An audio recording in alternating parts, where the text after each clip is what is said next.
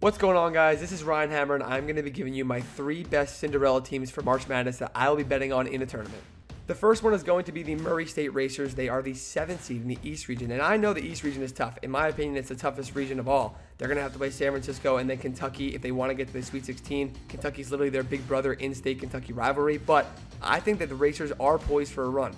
They're top 40 in offensive and defensive efficiency in the KenPom rankings. They have experience. They hold opponents to 30% from three.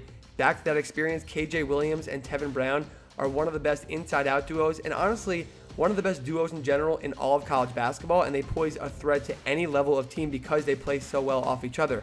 This team is built just like they were when they had Ja a couple years ago, low in turnovers, high in field goal percentage, and they could get that matchup against their big brother in-state rival Kentucky in the second round like they want, just like Loyola did last year with Illinois, and I think it's going to be tough, but Murray State could be dancing to the Sweet 16 and possibly further. Another really experienced team, we go to the 8 seed in the Midwest region. That's the San Diego State Aztecs out of the Mountain West. They just lost to Boise in the Mountain West Finals. They are on a hot streak, very underratedly because they didn't win their conference final. They've won 11 out of the last 13.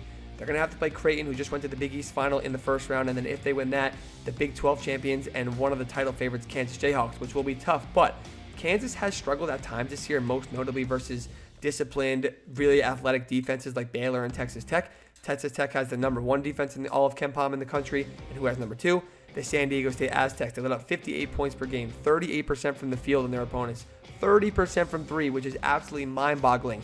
The offense is what holds them back, but they've been kicking up a little bit in the second half of the season, and I think Matt Bradley, averaging 17 points per game, senior guard, is good enough their offense is not great. It's good enough, like I said, to go far. And I think they could beat Kansas and possibly go beyond that because the Midwest region, as Jon Rothstein says, is the region of vulnerability. And I think anyone, and I mean anyone, even eight seeded San Diego State, could come out of that and go dancing to New Orleans. For the third potential Cinderella team, we are going to stay in the Midwest region with the South Dakota State Jackrabbits, the 13 seed.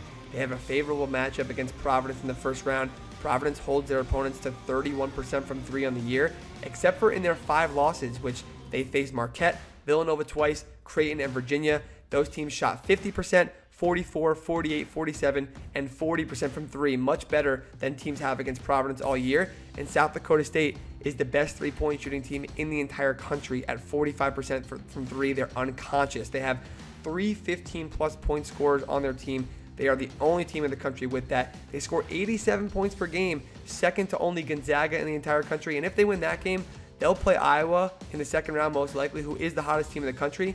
But that team is not a great defensive team either, so it will be a shootout. And I think South Dakota State's offense is just as good as Iowa's, if not better. So they will be able to keep up with them and hopefully run them out of the building. What's up, guys? This is Jordan Spieth. If you're watching this video, please like and subscribe to the FanDuel YouTube channel.